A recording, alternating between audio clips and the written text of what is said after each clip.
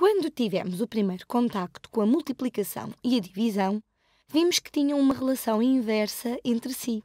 Ou, por outras palavras, vimos que podiam cancelar-se.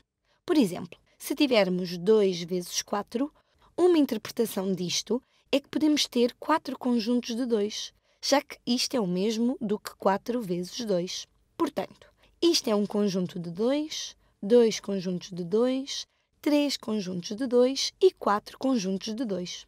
E aprendemos, há vários uh, vídeos, que isto, claro, será igual a 8. Podemos expressar uma ideia muito semelhante através da divisão. Podíamos começar com 8 objetos.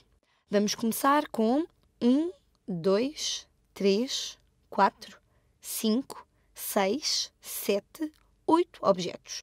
Agora começamos com 8 e vamos tentar dividir isso em 4 conjuntos quatro conjuntos iguais.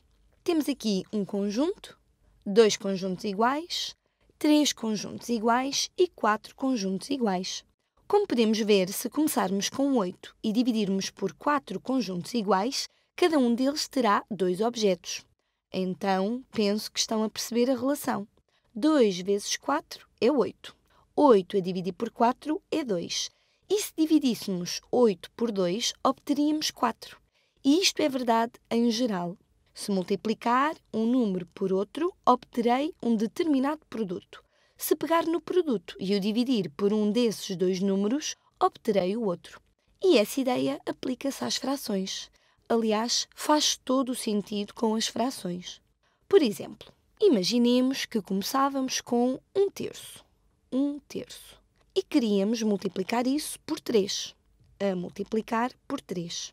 Podemos visualizar isto de várias formas. Deixem-me desenhar um diagrama aqui. Suponhamos que este bloco representa uma unidade. Agora deixem-me pintar um terço dessa unidade. Deixem-me pintar um terço. Aqui está um terço, mas vamos multiplicar por 3. Portanto, ficamos com 3 vezes um terço. Ou, por outras palavras, será um terço vezes, ou melhor, um terço mais um terço mais um terço. Este é o primeiro terço, este é o segundo terço e este é o terceiro terço. E obtemos a unidade. Isto é 3 terços ou 1. Então, isto será igual a 1. Agora, vamos usar precisamente a mesma ideia.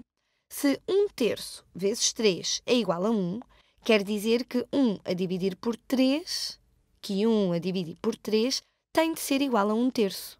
Tem de ser igual a 1 terço. E esta ideia deriva da nossa noção original das frações.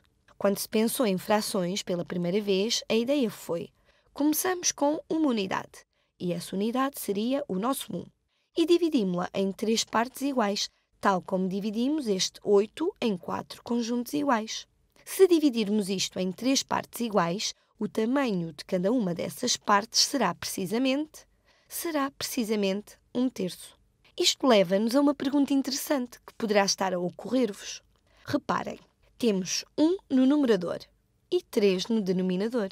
E acabamos de ver que isto é igual ao numerador a dividir pelo denominador.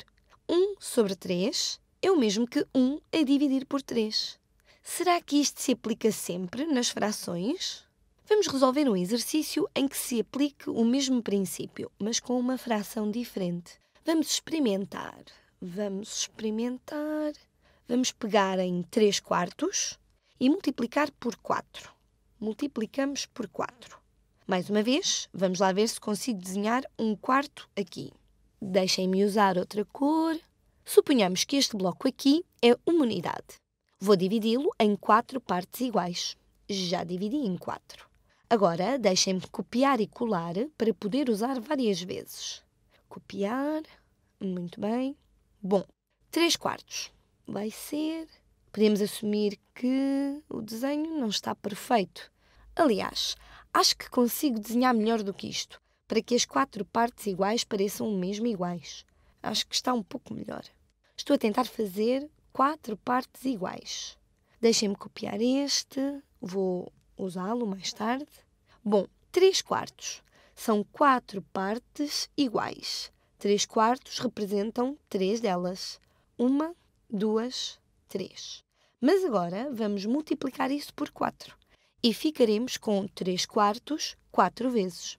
Para isso, vamos precisar de mais unidades. Vou pôr aqui mais uma. Aqui temos 3 quartos. Agora deixem-me pintar o próximo 3 quartos com outra cor. Então, isto é outro. Isto é um quarto, isto é o segundo quarto. E isto, o terceiro quarto. Temos novamente 3 quartos. E agora vamos fazer.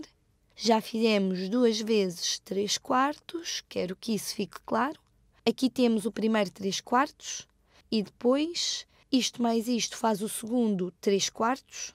Agora vamos pintar o terceiro 3 quartos, vamos ter de usar algumas, vamos ter de usar mais uma unidade aqui e vou fazer isto com esta cor. Vamos ao terceiro 3 quartos, aqui está um quarto, aqui está o segundo quarto e aqui está o terceiro quarto. Pintei a verde, mais 3 quartos, e agora precisamos de 4 3 quartos. Vamos fazer isso com uma cor que eu ainda não tenho usado. Pode ser o branco.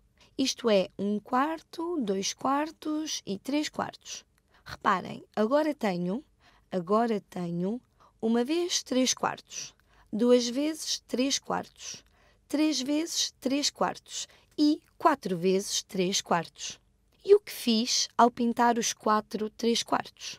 Parece-me bastante claro que isto passou a ser três unidades. Portanto, isto é igual a 3 unidades. Então, se 3 quartos vezes 4 é igual a 3, quer dizer que 3 a dividir por 4, 3 a dividir por 4 é igual a 3 quartos. É igual a 3 quartos. Mais uma vez, a mesma ideia. 3 sobre 4 é o mesmo que 3 a dividir por 4. E isto é verdade em geral. O símbolo de fração pode ser interpretado como divisão. E se olharmos para este diagrama, faz todo o sentido.